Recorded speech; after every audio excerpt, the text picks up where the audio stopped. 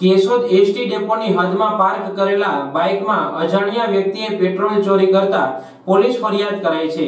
કેશોદ તાલુકાના અજાબ ગામના તાલુકા પંચાયત સદસ્ય પતિ નિલેશભાઈ દેવસીભાઈ અગેરાએ રાજકોટ જવાનું હોય તેમણે બસ સ્ટેશનની હદમાં તેમનું બાઇક પાર્ક કર્યું હતું.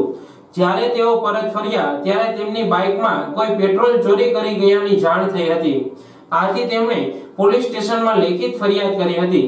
તેમણે જણાવ્યું કે મારી બાઇક સીસીટીવી કેમેરાની નજર હેઠળ હોય, જો પોલીસ તાત્કાલિક તપાસ કરે, તો પેટ્રોલ ચોરી કરનાર શખ્સને તાત્કાલિક ઝડપી પાડવો શક્ય બની શકે.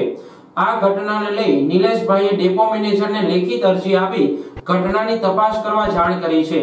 નિલેશભાઈનું કહેવું છે કે જે પેટ્રોલ ચોરી થઈ, તેનાથી તેમની આર્થિક પરિસ્થિતિમાં કોઈ જ ફેર નહીં પડે.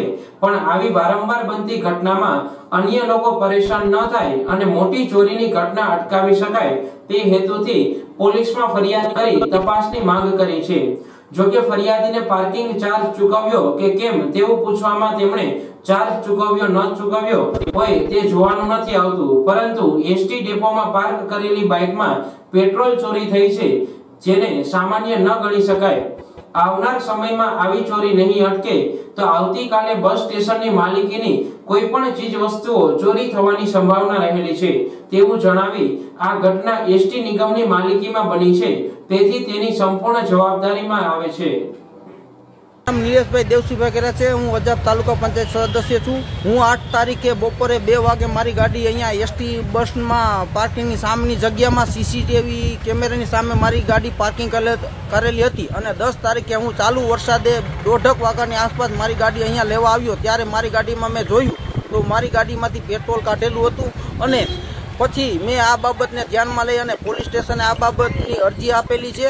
અરજી આપેલી છે અને આ એસટી ડેપોની પ્રિમાઇસીસ એરિયામાં આવેલું છે. જે કોઈ આ આનો તપાસ કરી, સીસી કુમેર બાબત તપાસ કરી, જે કોઈ આનો